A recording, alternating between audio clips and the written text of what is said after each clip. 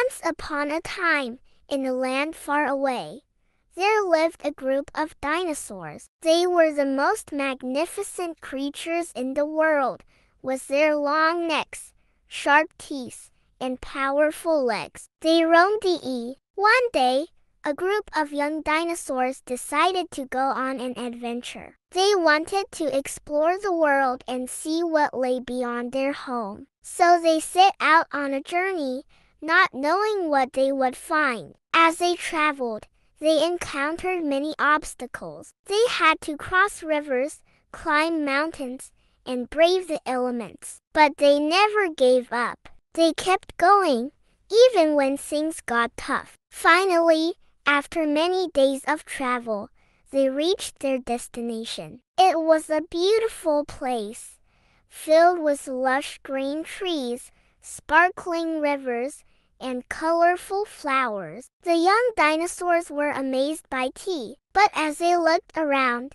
they realized that they were not alone. There were other creatures living in this land, creatures that were different from them. At first, they were afraid, but then they ray. The young dinosaurs learned an important lesson that day. They learned that it was okay to be different that everyone had something special to offer. They learned that by working together, they could, and so, they returned home, wiser and stronger than before. They knew that they had a purpose in life, and that they could achieve anything they set their minds to. Moral of the story It's okay to be different. Everyone has something special to offer. By working together, we can accomplish great things.